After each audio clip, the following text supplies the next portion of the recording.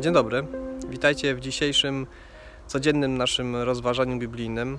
Witam Was z miejsca, w którym da się odczuć to, że Bóg przez przyrodę chce również coś do nas powiedzieć. I z tego miejsca czytam dzisiejsze wersety.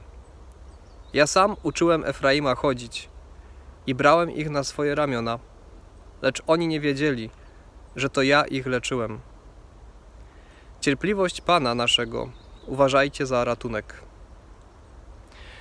W dzisiejszym dniu czytamy o takim schemacie, który czasem pojawiał się w historii narodu izraelskiego. E, polegał on na tym, że Bóg opiekował się swoim ukochanym ludem, pomagał im. Dzisiaj czytamy, że uczył Efraima chodzić. Prorocy pod tym imieniem wnuka Jakuba e, przedstawiali właśnie czasem e, cały naród izraelski, dla którego Bóg był właśnie takim dobrym cierpliwym opiekunem. Ale oni nieraz o tym zapominali, odwracali się od niego e, i robili rzeczy, które się Bogu nie podobały. On jednak w tym schemacie nigdy nie przestał ich kochać, zawsze dawał im kolejną szansę e, i czyni tak do dnia dzisiejszego. I tą miłością kieruje się również do Ciebie. Co to oznacza?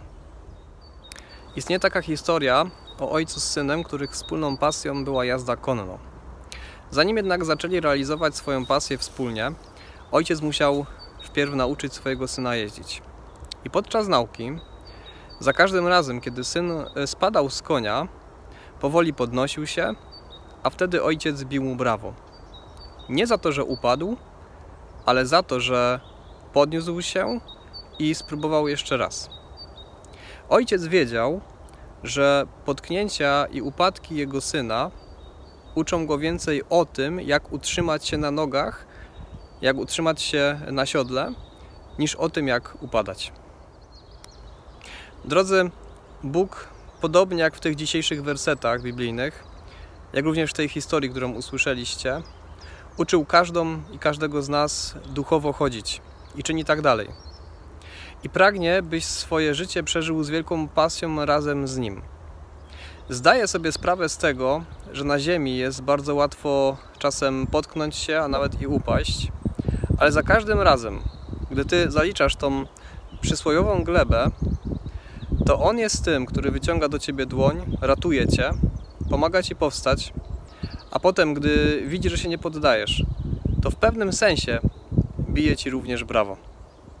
Dlatego chcę Ci dzisiaj życzyć, żebyś w swojej nauce duchowego chodzenia nigdy nie stracił pasji i zapału do życia z Bogiem, który jest dobry, który jest cierpliwy i dzisiaj daje Ci kolejną szansę do tego, żebyś przeżył ten dzień razem z Nim.